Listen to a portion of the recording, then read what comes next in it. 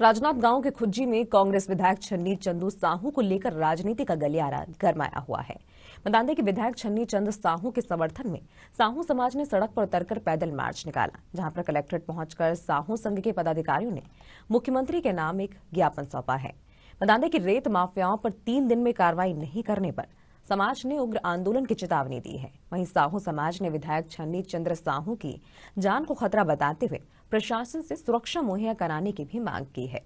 वहीं साहू संघ ने कहा कि अवैध व्यवसाय के पर्दाफाश होने के डर से विधायक पति के खिलाफ षड्यंत्र किया जा रहा है। विधायक पति के ऊपर बिना जाँच पड़ताल के एक पक्षी कार्रवाई की गई है।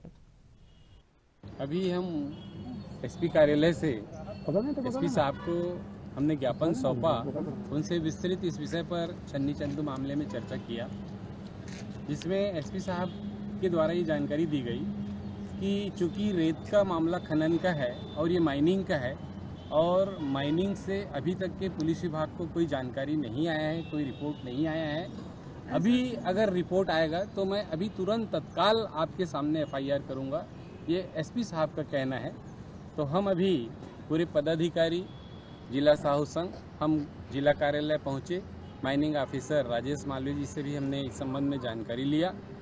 राजेश मालवीय जी का कहना है कि इस संबंध में, इस केस में मेरे पास कोई प्रकरण लंबित नहीं है और मैंने दो महीना पहले ही पुलिस विभाग को मेरा रिपोर्ट मैंने सौंप दिया है। आज एसपी कार्यालय में जिला साहू समाज के द्वारा एक ज्ञापन सौंपा गया जिसमें माइनिंग से संबंधित और एट्रोसिटी जो पिछले मैंने जो दर्ज किए गए थे, उसे संबंधित उसमें बातें हैं। पुलिस के द्वारा लीगल वे पे कार्रवाई की जा रही है। माइनिंग से संबंधित जो उनके द्वारा मांग किया गया उस पर भी माइनिंग विभाग को लेटर